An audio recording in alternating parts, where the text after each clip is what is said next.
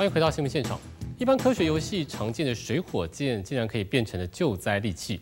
台中市有一位义消张仁忠，他八年前开始玩水火箭，希望可以有低成本的水火箭取代昂贵的抛绳枪，但始终没有办法精准的控制方向。去年他确诊罹患癌症，但还是边治疗边研发，终于成功，而且申请到专利。空气加压扣下扳机，水火箭变身抛绳枪，精准射向目标处。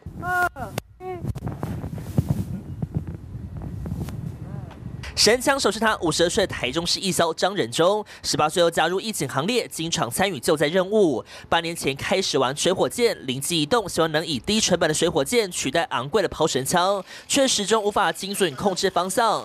去年确诊罹癌第四期，他没有因此沮丧，而是更积极把握时间进行研发。一年多来，一共射出两千多发，终于找出重要关键。飞行就变得比较好，是因为我们的尺寸开始统一了，改善它唯一有。角度太轻，它会飘。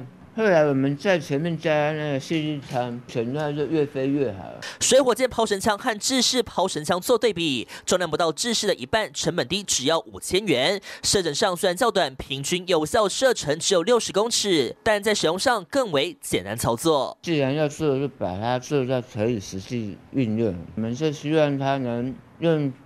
最便宜的方法得到最好的效果。历经一年多的研发，水火箭抛神枪已经成功取了专利。虽然没有实际上场救援过，但张仁忠相信未来在救援上一定能发挥最大效用。记者陈章宏杰明台中参报道。